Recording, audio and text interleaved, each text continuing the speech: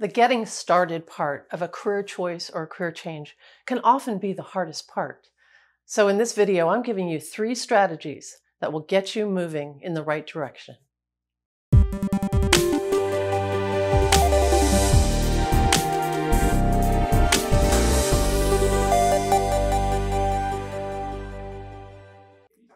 Helen Horyza here, ready to give you information and strategies that you won't be able to find anywhere else.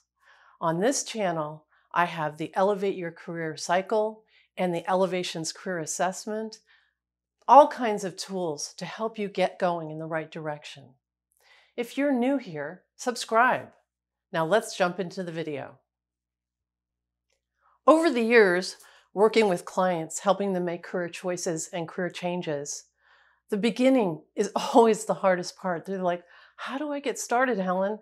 And so I've come up with three things that you really need to focus on to ensure that you're going to be making good decisions and that the quality of your outcome is going to be as high as possible.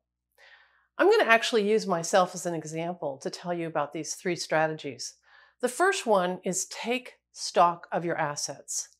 And when I was in my 20s and I was making a big career change, I really don't even know what inspired me, but I, I figured this out. And I took the time to look at what I had going for me, what was sort of in my court.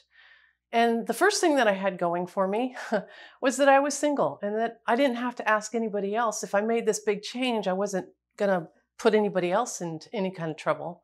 And I could eat macaroni and cheese. I didn't need to make much money. And I thought about that. That that made me feel like, okay, well that's a good thing. I had a good little car and I had family and friends who loved me. And in taking stock of my assets, that gave me that lift to get going in the right direction.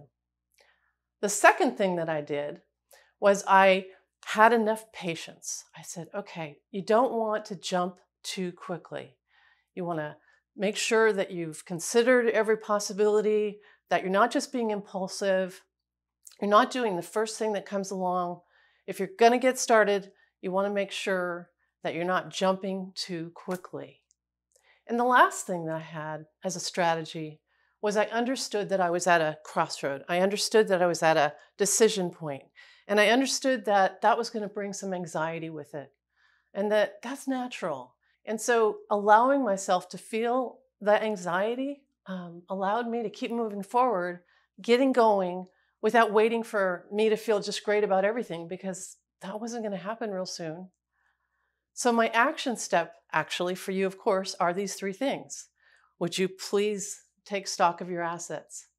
Would you have some patience and give yourself a little space? Realize you're in a crossroad. I'll see you soon.